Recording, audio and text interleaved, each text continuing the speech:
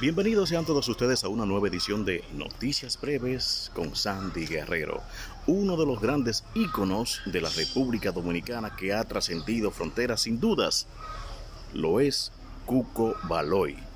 Y muchos músicos han querido realizarle homenaje a este gran ícono que como digo, o como repito, ha trascendido la República Dominicana y cómo se hace su música de la manera siguiente. ¿Cómo sonar como Cuco Baloy en menos de un minuto? Comenzamos con el piano eléctrico.